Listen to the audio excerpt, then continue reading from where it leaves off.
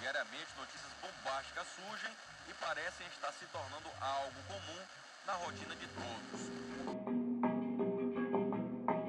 O próprio Estado, que está há 517 anos, que pisa na gente, que não reconhece a gente, é o principal responsável com a da, no, perda da nossa identidade, porque não reconhece o nosso modo de vida.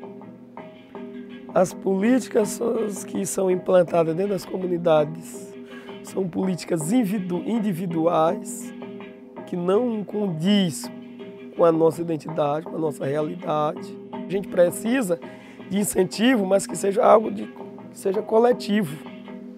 Porque o nosso modo de vida é coletivo. A gente não sabe trabalhar individual não sabe nem trabalhar assalariado. Porque nós fomos acostumados, nosso, nosso modo de vida é trabalhar coletivamente, é troca de dias. Se eu vou roçar, a pessoa vem, a gente faz a turma, o cara vem roçar comigo, eu vou roçar com ele até fechar para todo mundo.